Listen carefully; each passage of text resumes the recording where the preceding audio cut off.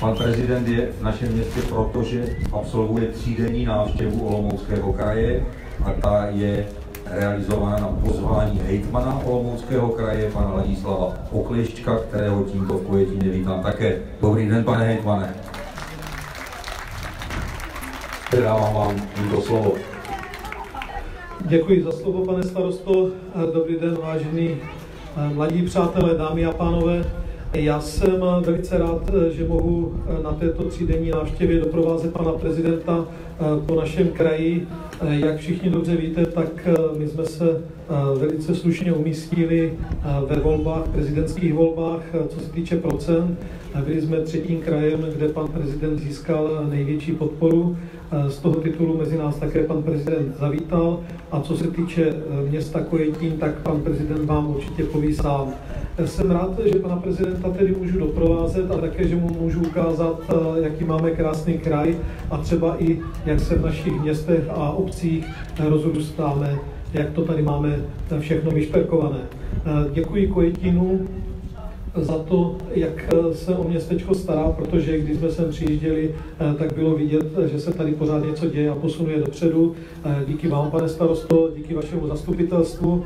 No a vám děkuji za to, že jste přišli a že jste přišli pobesedovat s panem prezidentem, protože on se vždycky na vás strašně těší mezi lidi a dobí ho to. On mě zakazuje, abych dlouho mluvil a já zase rád na truc mluvím trošičku déle, takže asi z mé strany už to bude všechno a takže předám tímto slovo panu prezidentovi.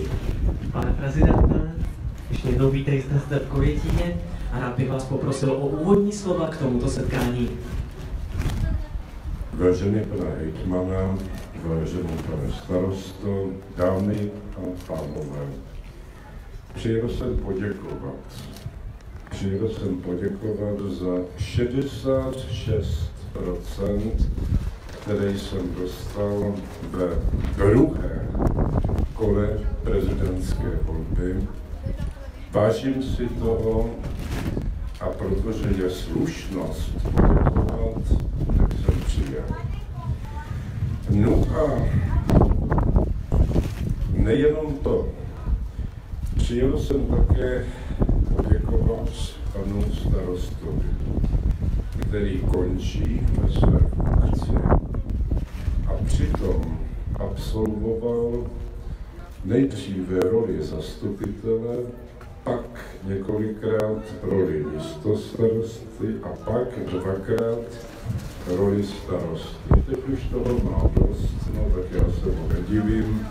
Pane starostvo, my dva můžeme za tento studený vítr, protože politici, jak známo, mohou v očích novinářů téměř na všechno, ale myslím si, že to je přesně to, o čem bychom měli společně uvažovat, když půjdeme za velmi krátkou dobu ke komunálním volbám, které jsem vypsal na 5. a 6. října. Budou lidé, kteří vás budou přesvědčovat, že je vám zvolit a budou vám hodně slibovat. A já bych vám chtěl říci, že ve skutečnosti není důležité, co vám kdo slibuje. Ve skutečnosti je vždycky důležité, co ten člověk v životě dokázal. Pan starosta spolu s námi, spolu se zastupiteli, spolu se všemi občany, toho dokázal už hodně. Já nebudu vyjmenovávat všechny investiční akce, které tady v Kojetíně proběhly, i když jsem si je velice pečlivě nastudoval, ale zmíním jednu, která je plánována, jmenuje se biosférická rezervace a má zahrnovat celou řadu tůní a mokřadů, kde budou sídlit ptáci. A jak dobře víte, pan starosta je vášnivý ornitolog, takže svůj důchod prožije v přítomnosti svého koníčka, teda v tomto případě spíše ptáčka, kterého má rád a já mu ještě jednou děkuji za jeho práci a přeju mu, aby se mu i v důchodě dařilo. Ještě jsem neskončil, pane. Abych se ale zmínil o některých jiných problémech Kojetína, protože každá mince má dvě strany, tak jsem si mimo jiné prostudoval i výsledky vaší ankety, které se účastnilo asi 11 občanů. A kde na otázku, co považujete za největší problém Kojetína, neodpovídali, že tam tady nefunguje veřejná doprava nebo něco jiného, ale stěhování Romů do města. No a člověk si má vážit anket, má si vážit názoru občanů, i když ho občas kvůli tomu někdo označí za populistu. A co by ne populus znamená lid? A vážit si názoru lidů, na tom přece není vůbec nic špatného. No a tak jsem přemýšlel a říkal jsem to už několikrát veřejně nad tím, jak tento problém řešit. A zdá se mi, že jedním z řešení teď, když v Pojetíně je sice 5% nezaměstnanost, ale všichni víme, kdo jsou v těch 5%, je nevyplácet sociální dávky těm, kdo odmítnou nabízenou práci, aniž by k tomu měli vážně například zdravotní důvody. Tohle to, přátelé, jsem si nemohl dovolit tvrdit před deseti lety, protože tehdy byla vysoká nezaměstnanost a člověk nevždy věděl, jestli ten, kdo nepracuje, nepracuje, protože nechce pracovat, nebo protože nemůže pracovat. Ale dnes už tato situace není. Podnikům chybí pracovní síla, a to včetně nekvalifikované pracovní síly, tedy pomocných dělníků. V každém městě, v každé obci říkám nějaké provokativní věty, tak mě dovolte, abych jednu provokativní větu řekl i v Kojetíně. Rozhodně nejsem přítelem komunismu, ale za komunismu Romové museli pracovat. A většinou pracovali jako otáči a když odmítli pracovat, byli označeni za osobu práce se štítící a šli do vězení. Kromě toho tam byl takový systém, že ty romské pracovní čety vedly opět Romové, kteří měli přirozenou autoritu, takže když v jejich týmu někdo nepracoval, tak to spaskovali. Je to velmi humánní metoda a zpravidla se osvědčuje. No, a touto poznámkou k problému díla, ale také k návrhu řešení tohoto problému, to znamená nevyplácet ty sociální dávky těm, kdo odmítnou bez důvodu nabízenou práci, bych skončil proto, protože se říká, že člověk má mluvit přibližně 10 minut a v tomto intervalu stačí říci vše podstatné. Nemám rád politiky, kteří mluví hodinu, pak se podívají na hodinky a řeknou, no a máme ještě pět minut. Má někdo něco do diskuze? Smyslem našeho setkání by měl být opak. stručné vodní slovo, vaše otázky, vaše názory a můj pokus na ně odpovědět. Takže ještě jednou vám děkuji, že jste přišli. Ještě jednou děkuji za vaše hlasy v prezidentské volbě a nezapomeňte, že nejsou hloupé otázky, že jsou jenom hloupé odpovědi. Děkuji za vaši pozornost.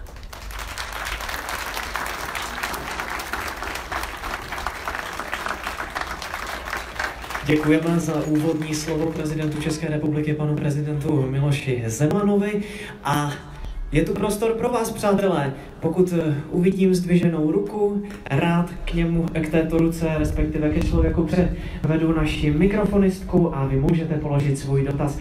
Má někdo první dotaz, dámy a pánové? Vidím. A vidím. Prosím pěkně, uh, mikrofonistkou by přišla k první řadě lavic. Pane prezidente, dotaz vpravo. Dobrý den, tady Lumír Kotek. Chtěl jsem se zeptat, vy jste vykládal, že tady je dobrá infrastruktura a takový a normálně moja jezdí do práce do Kroměříža a má problémy se dostat do práce ráno a přes svátky už vůbec ne. Jak se to dá řešit? Tohle bude samozřejmě otázka na pana starostu, nicméně ujasněme si pojmy. Infrastruktura je stav silnic, železnic a vodních toků. Dostupnost autobusů, vlaků a lodiček je něco jiného. To závisí na té infrastruktuře, ale není s ní totožné. Máte slovo, pane starosto.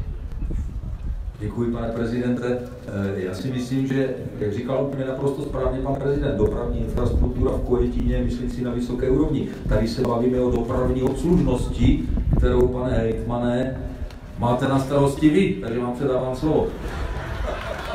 Je to horký prapor, děkuji. Já už to nemám komu předat, tak to zodpovím já. Existuje, říká se tomu krajský eh, dopravní systém eh, KICOK a to znamená, že máme takového koordinátora toho systému a všechny požadavky měst a obcí se do toho místa schází a my pak zkoušíme zabezpečit eh, co nejlepší dopravní obslužnost v rámci našeho kraje.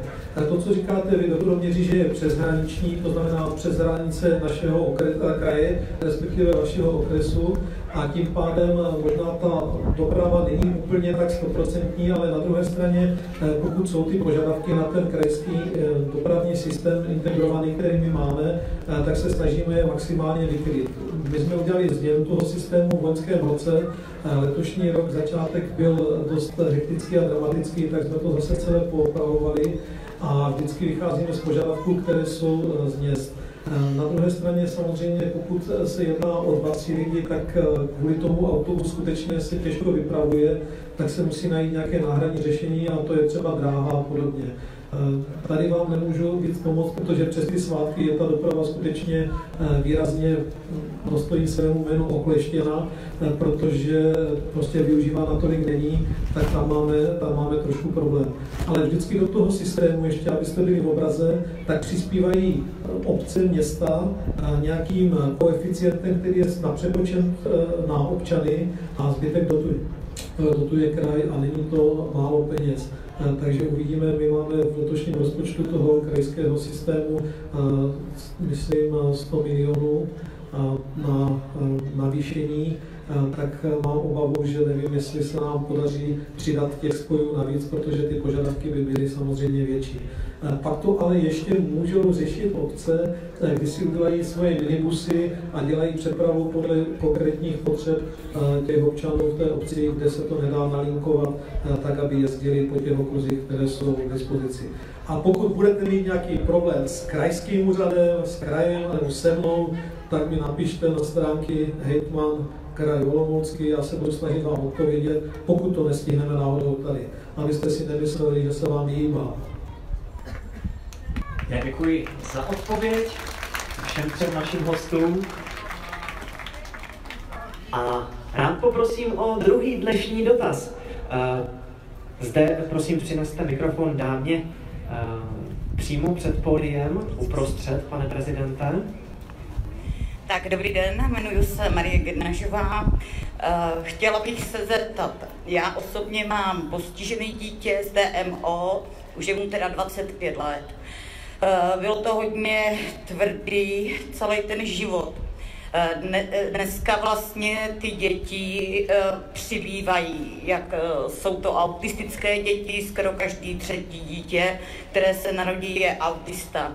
Jak se bude řešit vlastně tady, tady ta zdravotní a sociální stránka, protože my všichni máme zkušenost, že když nedej bože je někdo třeba na částečným důchodu, tak ho dají vlastně buď do jedničky, nebo o něj přijde, i bez toho, jestli se to teda zhoršilo nebo ne.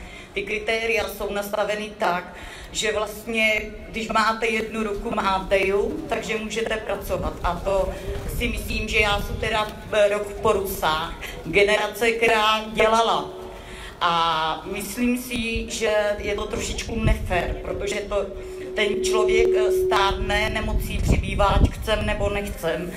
A zajímalo mě opravdu, jak se teda tohle bude řešit, protože pokud ty děti budou autisté, nebudou moc pracovat a bude jich přibývat, jak tohle vlastně tady ta politika se vlastně do budoucna bude nastavovat. Děkuji. Děkuji. Já bych předeslal, že si velice vážím matek, které si nechali postižené děti, i když dovedu pochopit ty ženy, které se těchto dětí po té, co jim lékaři řekli, jak to vypadá, zbavili popratem. Nesouhlasím s vámi v tom, že postižené dítě, jako byl například autista, nemůže být pro společnost uh, užitečné. Viděla jste Rain Man s Dustinem Hoffmanem, to je film o autistovi. Ale já řeknu ještě drastičtější příklad. Nedávno zemřel v docela pokročilém věku Stephen Hawking, což byl geniální fyzik, autor několika slavných knih, který prostě nemohl dělat nic, pokud jde o fyzickou stránku. To znamená, měl v ústech tušku a tou tuškou se dotýkal počítače, klávesnice a to byl jediný způsob komunikace, který měl k dispozici. No a teď vaší konkrétní otázce, abych nevypadal, že se jí vyhýbám. Za prvé je zapotřebí, aby se výrazně, a to se právě nyní děje, zvýšil asi o 6 tisíc korun měsíčně příspěvek těm, kdo se starají o těžce postižené děti. Zdůraznují těžce postižené děti. Za druhé, tam, kde je zapotřebí sociálních pracovnic, pak je nezbytné, aby přestali mít tu ubohou mzdu. Víte, kolik v těch sociálních ústavech měli mzdy? 14, 15 nebo 16 tisíc hrubého, zdůraznuju hrubého. No teď se to naštěstí zdvihlo o 23% Pořád to ještě není žádný zázrak, ale je to něco.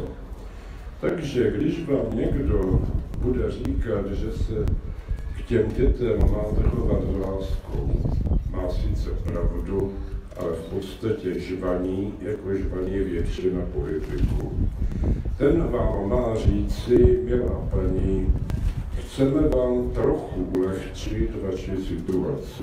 A i když víme, že peníze nevydrží, nevyřeší všechno, zvýšíme na pečovatelskou službu tolik a tolik, zvýšíme mzdy pečovatelkám o tolik a tolik a vyhodíme pana exministra Krapka, který zařídil, že když máte jednu rohu, tak jste totálně práce schopný.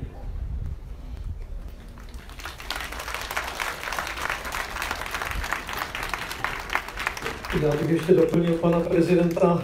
Já vám řeknu, milá paní, Olomoucký kraj právě tuto problematiku velice dobře monitoruje. Já vám přesně rozumím, o co vám jde. Teďka je v parlamentu právě zákon, který má navýšit příspěvek na péči a právě podle toho, která kategorie toho příspěvku je potřeba. To je první důležitá informace. Druhá informace je, že my podporujeme všechna sociální zařízení, která v našem kraji máme a to jsou třeba i zařízení, která jsou neziskovky a mají třeba takzvanou odlehčovací službu, kde vy si můžete toho svého rodinného příslušníka aspoň částečně třeba dát přes den a můžete si odpočinout, protože celodenní péče eh, o tyto naše lidi je velice náročná, namáhavá, takže tam je další podpora. Jak zmínil pan prezident, tak došlo k navýšení odměn v té sociální oblasti. Olomoucký kraj v loňském roce rozděloval, eh, mám dojem, 870 milionů korun jako příspěvek do všech sociálních oblastí na mzdy a v letošním roce rozděluje 1,13 miliardy došlo k extrémnímu navýšení, takže konečně ty pracovnice v sociální oblasti budou aspoň trošičku blíž tím ohodnocením k tomu, co by si zasloužili. Já neříkám, že dostanou, co mají, ale aspoň se trošku tomu přiblíží. Protože pokud se nedokážeme postarat o naše nemocné nebo handicapované, tak pak tady nemáme co dělat. Takže myslím si, že to je dobrá cesta, dobře nastavená a že bude pokračovat i dál. Děkujeme za odpověď jak panu prezidentovi, tak panu hejtmanovi. A přátelé, před námi jsou poslední dva dotazy. Eh, já se rozhlížím a vidím ruku vzadu, tak poprosím zde z levé strany ode mě eh, slečnou mikrofonistku, aby se přesunulo až za lavice. Pane prezidente, až za lavicemi je pán s brýlemi mírně vlevo. A už k němu jde paní mikrofonistka. Ano, počkej, tam, eh, ne, ne, ne, ne, pán, pán, pán se hlásil dříve. Nicméně, eh, tam k tomu pánovi můžeme poslat už uh, i vás. A tím v podstatě pokryjeme oba dotazy. Dobrý den, chtěl jsem se zeptat, jak to bude vypadat s dálnicí D1 mezi Přerovem a Ostravou.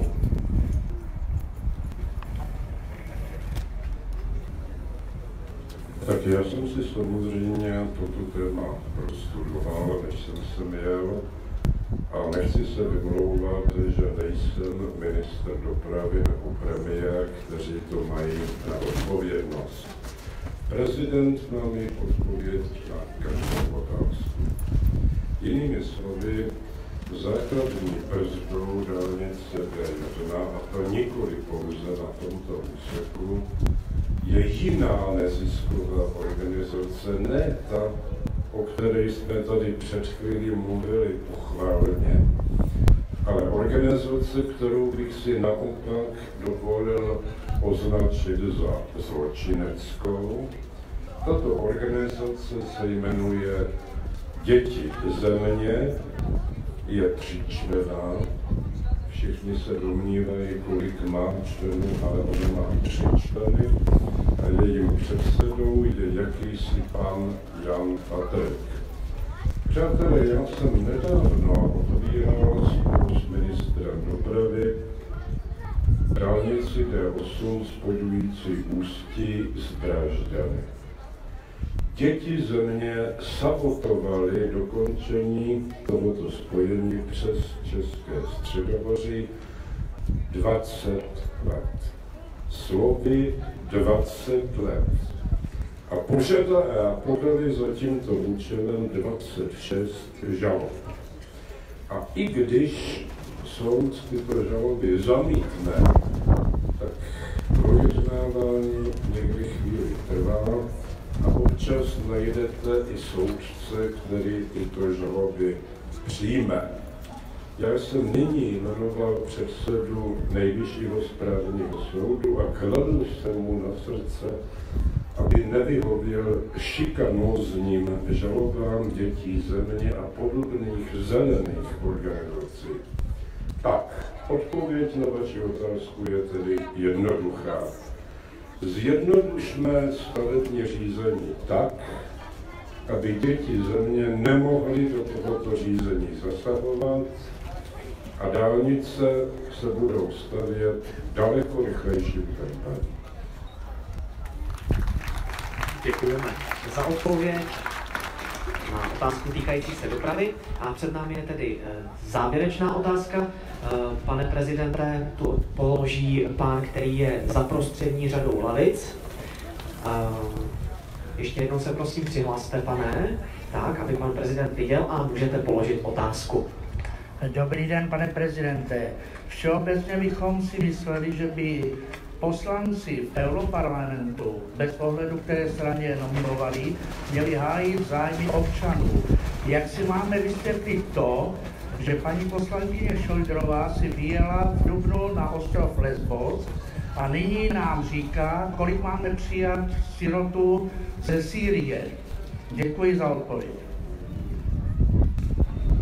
Vážený pane, do mě občas vyjde ďábel. Ten ďábel mě nutí říct si nějaký bonmot a za tím bonmotem okamžitě následují žaloby pro porážku nosti. Takže napadl mě bonmot, který ale nedořeknu. Dovedu si představit souvislost mezi výletem paní poslankyně Šoutrové na ostrov Lesbos.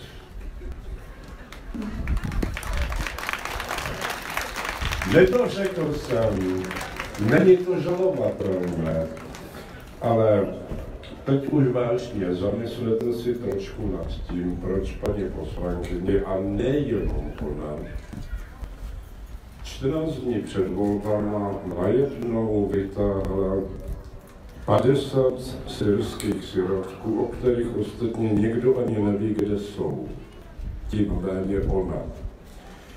Problém uh, syrských uprchlíků existuje 6 let od roku 2012.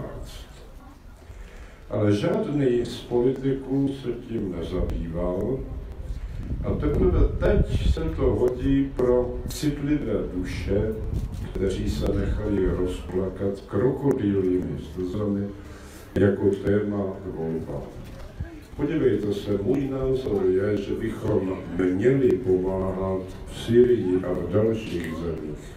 Postavit tam nemocnici, školu, zařídit vodovod, tohle všechno beru.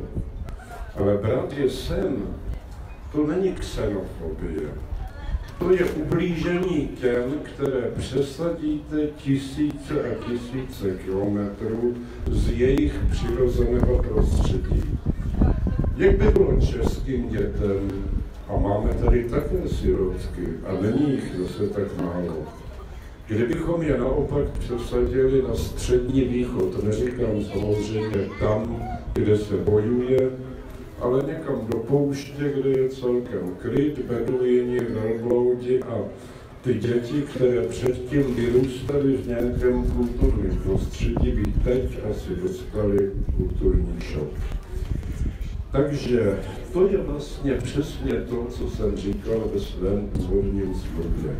Přátelé, nevěřte tomu, když se nějaký poslanec vzpamatuje, a několik dní před volbami objeví nějaké téma, o kterém předtím vůbec nevěděl. Ten člověk je buď hlupák, nebo vám lže.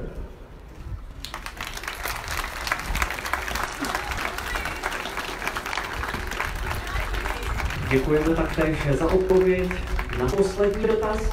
Nyní bych vás, pane prezidente, poprosil o zapsání do pamětní knihy Kojetína.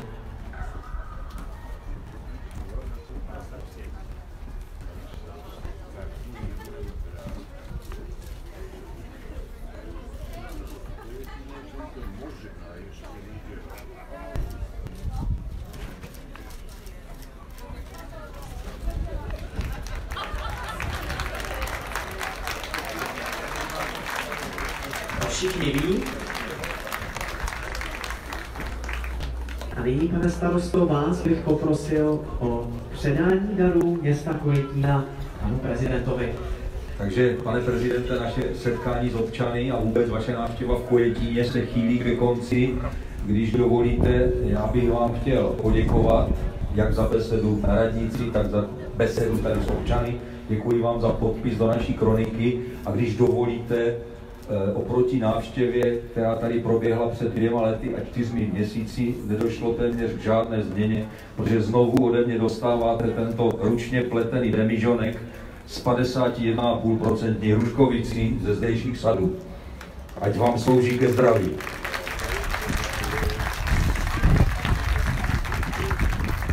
Milý pane pro dnes jako poděkování bych měl přivěsit stuhu, ale protože už jsem to udělal jednou a dvě stuhy jsou nesmysl, tak si jenom připomeneme, že tu stuhu tady máte a že pevně doufám, že vám ji nikdo neukradl. Výborně perfektní. A dovolte mi, abych se s vámi, milí občané, rozloučil tím, že mě někteří označují za pijana. No, tak ten demižon by tomu možná nasvědčoval, ale já čtu pravidelně Bibli, zejména Nový zákon. A tam o Kristovi se říká člověk žráč a pijan vína. Takže díky panu starostovi budu pijan z Libovice, ale vždy říkám, že můj velký vzor Winston Churchill vypil každý den plnou láhev whisky a tři láhve šampaňského. Adolf Hitler byl abstinent. Stačí vám to. Naschledanou.